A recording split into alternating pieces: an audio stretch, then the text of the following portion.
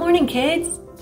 This is the last Sunday in April, and all month we've been talking about the cross and how Jesus died on the cross. And last week, all these flowers appeared on the wall around our cross in the sanctuary and gave us a beautiful, epic, and joyous way to celebrate Easter.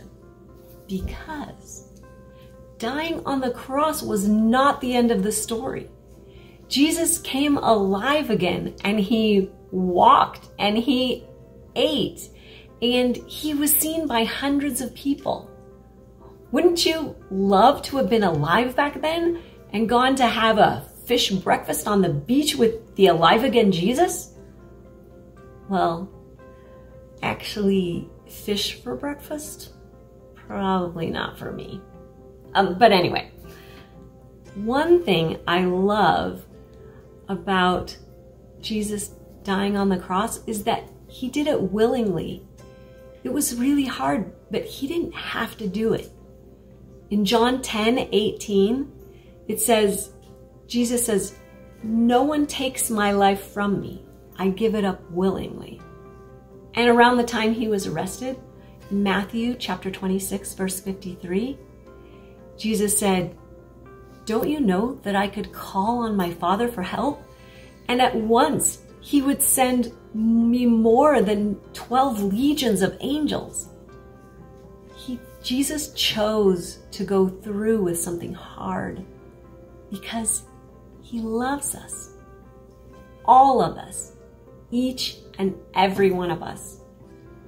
In John chapter 4, verse 19, it says, We love because God first loved us and gave his life as a ransom for many. Now, I want you to imagine one of your favorite people in the whole world, somebody you really, really love. You have them in, in your head? I want you to imagine the things you love about them. Maybe it's how their eyes look, or how they walk, or how they dance, or how they tell jokes.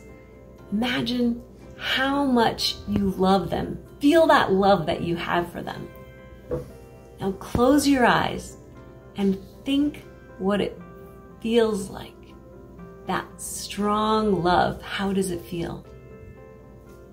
Okay, open your eyes. When God thinks about you, that's the way he feels.